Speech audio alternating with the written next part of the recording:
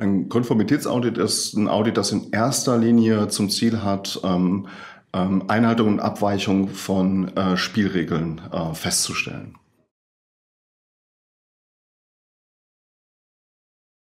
Ich denke, wir müssen bezogen auf Konformität anders auditieren, weil es uns oftmals nicht gelingt, ähm, eklatante Regelverstöße äh, wirklich äh, zu entdecken und zum Thema zu machen.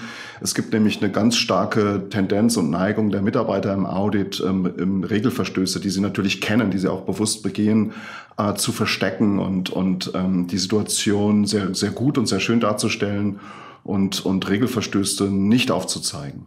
Das findet aber auch statt von einem Hintergrund, den man verstehen muss. Unsere Organisationen sind hochgradig überformalisiert durch ganz, ganz viele Regelwerke.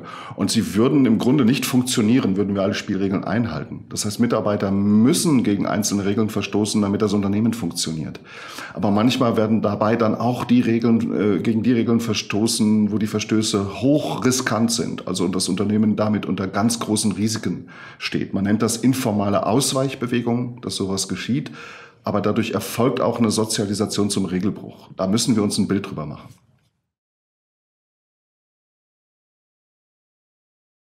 Wir können anders machen, dass wir die unterschiedlichen Formate, die uns dabei helfen, Nonkonformität festzustellen, nämlich die interne Revision, die Wirtschaftsprüfung, äh, das Wirken der Compliance Officer und das Wirken der unterschiedlichen Teilsystem Verantwortlichen, Quartiersmanagement, Umweltmanagement und so weiter, dass wir das besser integriert gestalten, dass die also miteinander überlegen, wie können wir eigentlich äh, Auditprogramme gestalten, wo, wo wir besser gemeinsam agieren, so dass nicht so viele unterschiedliche äh, ähm, Gruppen durchs Unternehmen ziehen und Nonkonformitäten feststellen wollen.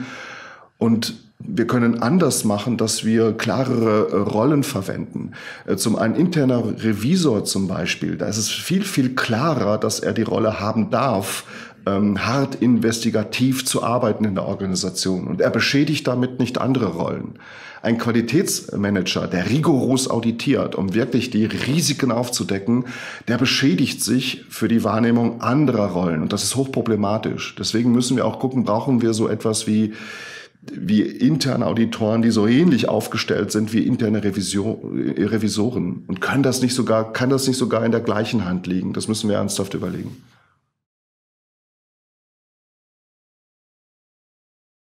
Ich glaube nicht, dass wir das Audit dadurch ähm, unbeliebt machen, sondern ich glaube, wir müssen ein anderes Erwartungsmanagement machen. Wir müssen besser klären, dass ein Audit sich nicht zwingend gut anfühlen muss, dass es eine ganz wichtige Bedeutung, ganz wichtigen Zweck hat. Ich glaube, unser bisheriger Versuch, das Audit so ein bisschen akzeptierter zu machen, hat eher dazu geführt, äh, dass es ähm, weniger wirksam geworden ist und sich trotzdem nicht gut genug anfühlt, dass alle immer glücklich sind im Audit. Ich glaube, wir müssen da einfach professionell akzeptieren, dass die Auditsituation eine Prüfungssituation ist. Rigorosere Konformitätsaudits äh, bedeuten für die Zertifizierer, dass sie, dass sie anerkannterweise mehr Spielraum dafür bekommen, im Audit wirklich äh, ähm, unangenehmer werden zu dürfen. Und, und die stehen natürlich als Dienstleister in einer, einer Zwickmühle. Auf der einen Seite wollen sie natürlich ihren, ihren Auditkunden nicht verlieren und Mitarbeiter, die sagen, Mensch, das fühlt sich aber sehr unangenehm an, wenn hier nachgefragt wird. Ähm, die müssen einfach erkennen, ähm, dass das eine ganz wichtige Funktion hat. Und wir müssen vielleicht aufhören, so, so das Audit ähm, am Grad der Beliebtheit äh, sozusagen festzumachen.